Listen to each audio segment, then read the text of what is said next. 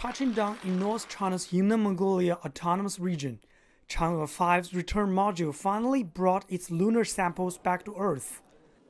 Then it was up to the ground team to find the capsule in the designated area, which they did about 30 minutes later. I here declare China's lunar exploration project Chang'e 5 a complete success. The Beijing Aerospace Control Center erupted with celebration and excitement.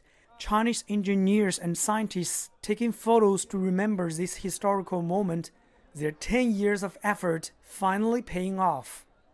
The Chang'e 5 mission is the end of China's previous lunar exploration projects, including orbiting, landing, and returning. But this is also a new start of China's further lunar projects.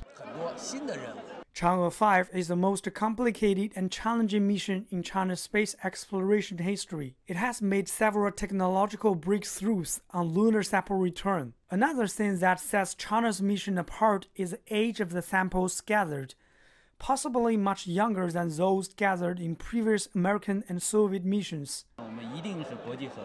We will conduct deep study of these precious lunar samples and it is for sure we will cooperate with global scientists and organizations on the scientific research.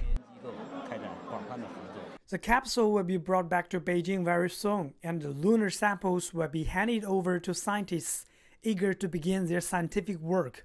With a solid experience gained from this mission, China plans to conduct more lunar sample missions, as well as manned lunar missions, and build a scientific station on the moon in the coming years.